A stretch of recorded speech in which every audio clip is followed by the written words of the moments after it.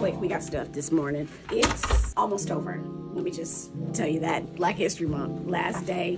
Y'all probably don't catch this on the next day. However, I'm hoping that we bring in March with a bang. I'm gonna see you next week, right? Certified Doers Day. You coming?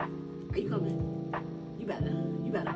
Next week is our last full weekend session, so this will be your second to last certified doer behind the doer. That's how we do. So don't be mad after you don't see the next one. All week I've been in committees. All.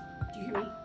All week been in committees. So we are wrapped up all of our bill. The only thing we got to do is we got one in conference, which we got to negotiate with the Senate to get right. Everything else should be signed by the speaker, signed by the lieutenant governor, going across to the governor to sign. So fingers crossed that all our stuff makes through. Check it out. The page came by and said that the bill that you guys have been working on passed committee. Yes, that's good.